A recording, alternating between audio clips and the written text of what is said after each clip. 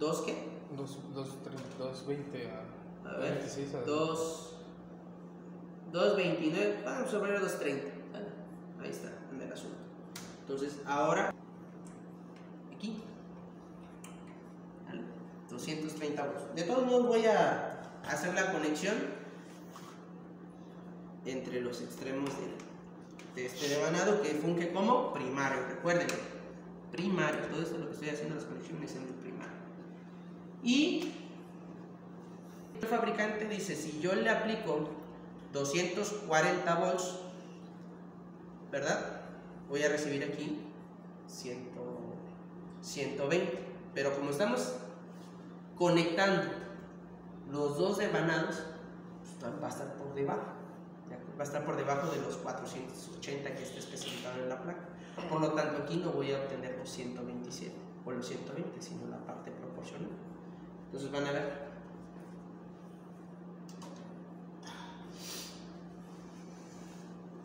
Como podrán observar, en el devanado primario yo le estoy aplicando 230 volts y en el secundario solamente se están reflejando 59 volts. Esa es la razón por la cual pues, no, no va a llegar al dato de placa porque pues, no le estoy suministrando la tensión que está marcando nominalmente en el primario. ¿Sale? ¿De acuerdo? Si yo tuviera manera de aplicarle entre estos extremos 480 volts o 460, entonces muy probablemente aquí estaría cercano a los 120 volts. Sin embargo, la relación de transformación se mantiene con la, la, el valor proporcional, ¿de acuerdo? Entre las espiras del primario y del secundario. Bien, esto digamos que es la parte introductoria, no sé si tienen hasta aquí alguna de corriente alterna trifásica fija. Medimos voltajes entre fases y entre fase y neutro, ¿correcto? Con el voltmetro. Posteriormente energizamos el primario y obtuvimos una lectura en el devanado secundario y nos dimos cuenta de que lo que obtuvimos está en base a la relación de transformación. Ahora nos vamos a centrar en la prueba. Prueba de polaridad. ¿Cómo podemos saber qué terminal del devanado primario o qué terminal del devanado secundario tienen la misma polaridad? Bueno, el método es muy simple. Para, voy a conectar para que haya conductividad entre en el primario y el devanado secundario. Ojo que eso lo hago con el propósito de identificar las terminales de este transformador. La teoría dice que deben de estar aislados eléctricamente primario y secundario, pero lo voy a hacer adrede para poder determinar esta situación. Entonces hago la conexión entre este punto y este otro punto. ¿Sale? Estoy formando entonces un solo devanado que un extremo va a estar alimentado por aquí y otro extremo va a estar este, libre por acá. ¿sale? De aquí hasta acá. Ahora, voy a utilizar los cables que por ahí le pedí aquí a Alexis que me guardara. Y, por favor, pásame. Y ahora fíjense lo que voy a hacer. Voy a medir la tensión resultante entre este extremo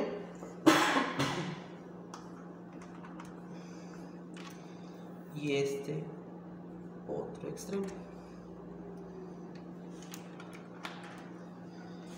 Obviamente voy a obtener dos lecturas de tensión y el valor que tenga uno respecto a otro me va a indicar cómo debo considerar a las, a las terminales de un transformador si con la misma polaridad o con polaridad, polaridad diferente.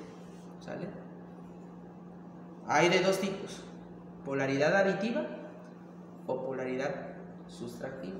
Eso lo vamos a, a definir, insisto, con base en las lecturas que nosotros tengamos.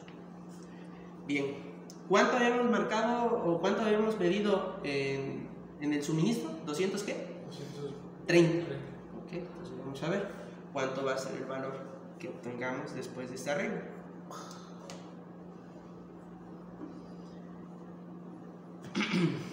Bien, como pueden ustedes observar, pues en efecto, los 200, bueno, 229 volts ahora se le están aplicando en el devanado primario. Y después del arreglo de conexión serie entre el devanado primario y el secundario, medido entre esta terminal y esta otra, nos da pues un valor de tensión menor, ¿verdad? 170 volts. ¿Qué podemos nosotros entonces eh, interpretar con estas lecturas? Bueno, como estoy haciendo una conexión serie de devanados, la, teoría dice que cuando tú conectas en serie dos elementos, ¿qué pasa con las caídas de voltaje? Se suman, ¿no? La famosa ley de Kirchhoff, ¿no? Sin embargo, es claro ver que no hay suma, sino al contrario, hubo una resta, ¿no? Por uno le estoy aplicando 229 y por el otro lado me está dando en total 170. Entonces, cuando sucede esto, decimos que el transformador posee polaridad sustractiva. ¿Pero qué significa eso de polaridad sustractiva? Significa que en el punto donde yo estoy haciendo la conexión en serie entre primario y secundario, ambas terminales experimentan la misma polaridad. Tan experimentan la misma polaridad, pero con diferente valor de tensión. Por esa razón es que obtengo, en suma, un menor valor de la que le estoy aplicando. Entonces, en conclusión, esta terminal con esta otra terminal físicamente son correspondientes o tienen la misma polaridad. ¿Y eso qué implica? Implica que este, este devanado de, eh, de la parte del primario se le va a llamar H1, porque es devanado de alta, y el otro extremo H2. Y el extremo que está enfrente de él, del mismo lado, que es el devanado de baja tensión, se le va a llamar X1 y de este lado X2. De tal manera que los unos en H y en X tienen la misma polaridad. ¿Correcto? Entonces, en el diagrama que les puse, pues no se logra ver con, con claridad, ¿verdad? Quién es entrada y quién es salida. Digo, aquí dice 0 y aquí dice 220. ¿Ok? Entonces pudiéramos decir que es, esta se le llama H, H2 y esta H1, pero pues es lo que yo supongo. El problema es aquí, quién es X1 y quién es X2, porque yo creo que se la quitaron o se le cayó la, la etiqueta. En uno debe decir 0 y en otro debe decir 120.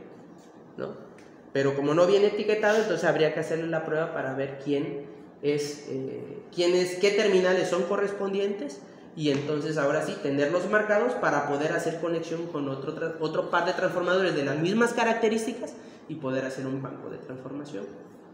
Recuerden que la diferencia por la justificación de utilizar entre sistemas trifásicos como esa fuente con sistemas monofásicos es la cantidad de potencia que estos pueden manejar.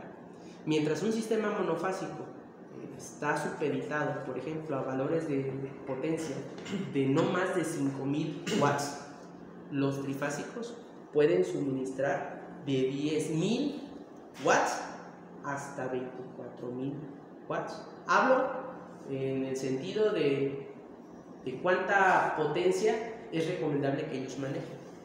Aquí en la escuela, por ejemplo, tengo entendido que hay alrededor de 6 a 8 subestaciones o transformadores que en suma andan rodando por ahí por el un megawatt, es decir, mil, no, un millón, un millón de watts, ¿no? más o menos en teoría.